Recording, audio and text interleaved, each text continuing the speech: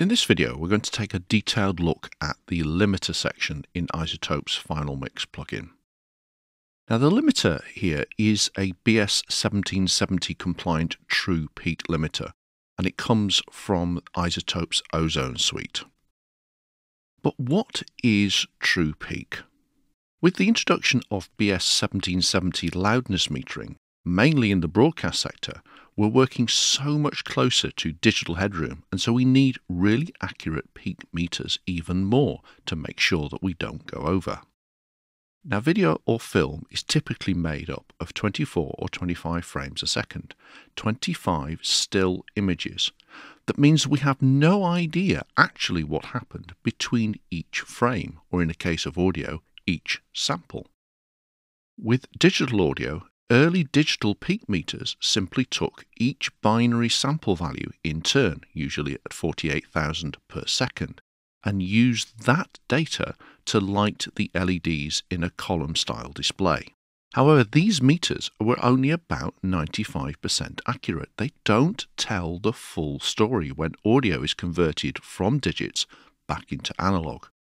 It's possible that the audio is changed through processes like EQ or other effects, or when the data rate is reduced for transmission and storage in lower quality formats, there may be audio that would measure above the maximum.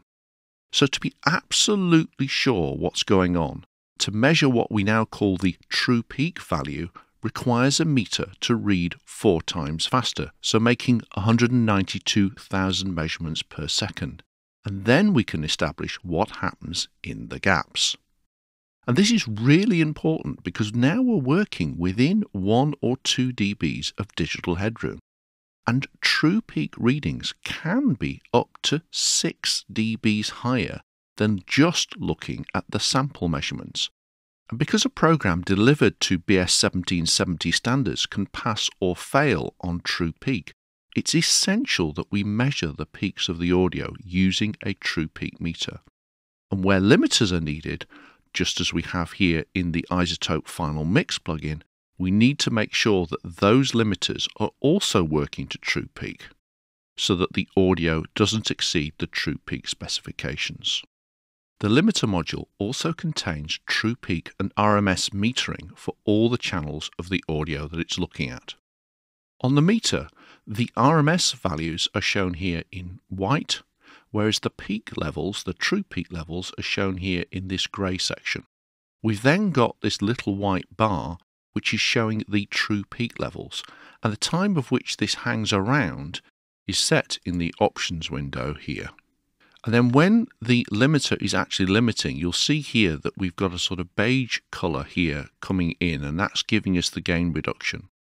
And of course, it's key that to avoid any steering, that all the limiters across all the channels of audio, in this case 5.1, are all linked together.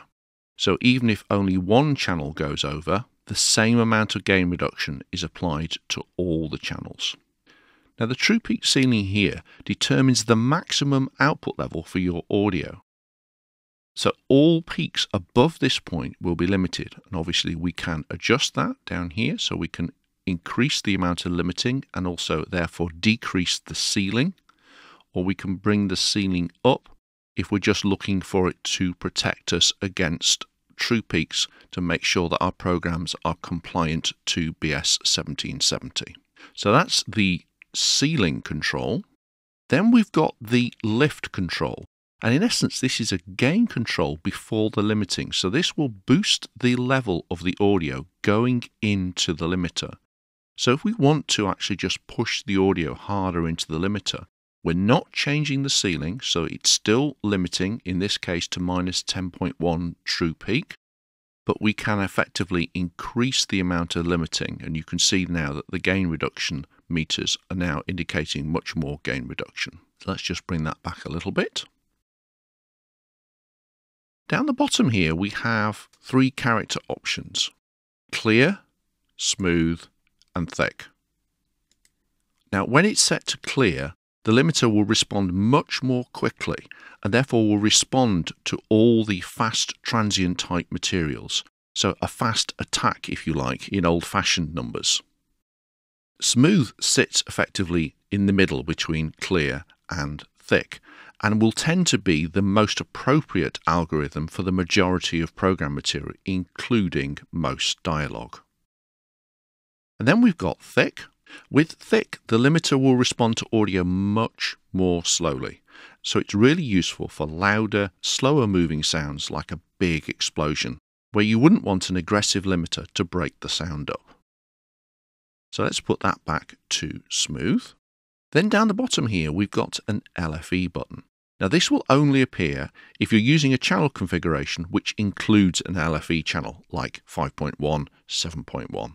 You're in stereo, you won't see this option. Now by default, this is on, and so the LFE channel will also be run through the limiter and any processing will be made to the LFE channel. You can see here that the gain reduction is being applied to the LFE channel.